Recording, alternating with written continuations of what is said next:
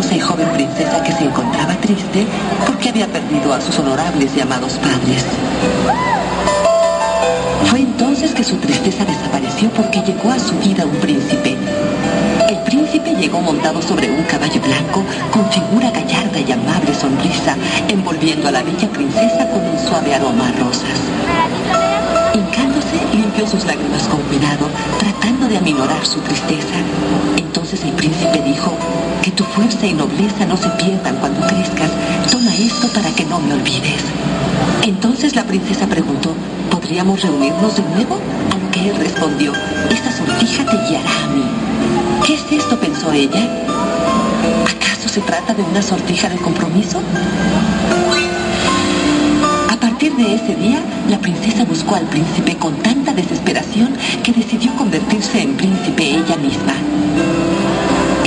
extraño, ¿no creen? Pero esa es nuestra historia.